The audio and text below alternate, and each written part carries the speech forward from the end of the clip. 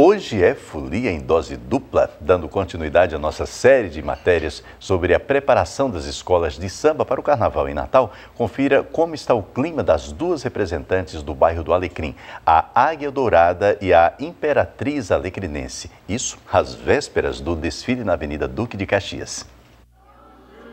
O carnaval começa mais cedo dentro dos barracões das escolas de samba. No bairro do Alecrim, a preparação para o desfile da Águia Dourada e da Imperatriz Alecrinense divide a atenção dos voluntários que trabalham dia e noite pensando no desfile das agremiações pelo bairro da Ribeira. A gente buscou dois te cinco temas, né? foi cinco cidades, e o que mais a gente encantou foi com a história de Lagoa de Pedras. Isso a gente colocou os encantos de Lagoa de Pedras, muito bom, tem muita história para contar. A Águia entrará na avenida com 600 componentes e a Imperatriz desfilará com cerca de 400.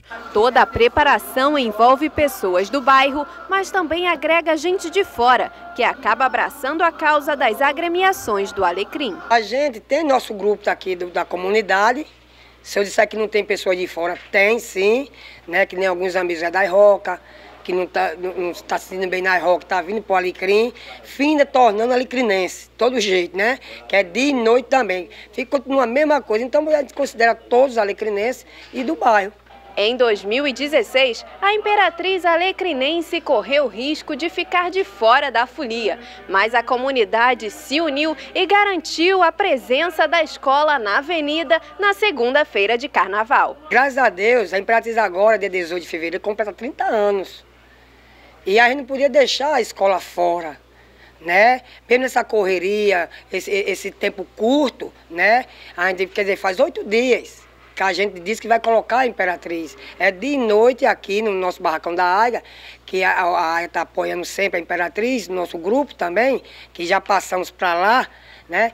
Eu acredito que a Imperatriz está bem adiantada. A paixão pelo carnaval contagia e faz com que as pessoas se entreguem a cada etapa do trabalho antes dos desfiles, como o seu Zé Rosa, que tem seu lugar reservado dentro do barracão e sua presença garantida pela avenida. De dia à noite aqui mesmo.